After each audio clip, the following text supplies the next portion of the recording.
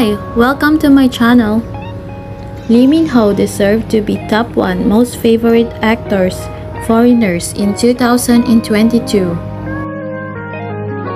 Lee Min Ho now is trending across social media sites. His movie Pachinko is a big hit internationally. Because of this movie, he is being nominated in the Emmy Awards.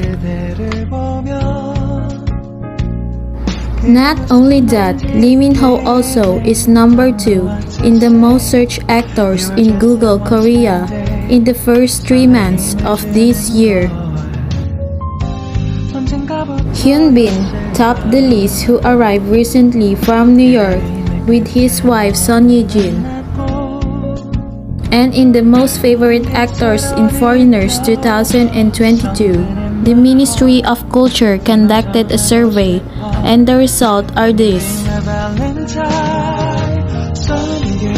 Number 3 is Gong Yoo with 2.8% votes.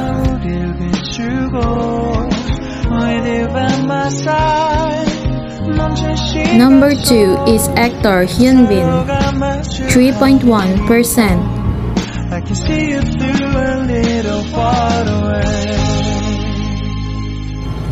the number one is actor Lee Min Ho with 9.3%. Congratulations, Opa. You really deserve it. Many fans of Lee Min Ho want more to see his other genre of movie after his villain role in Pachinko.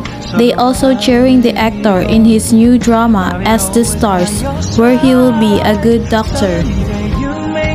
What can you say about this news? Please comment your thoughts below and thank you for watching.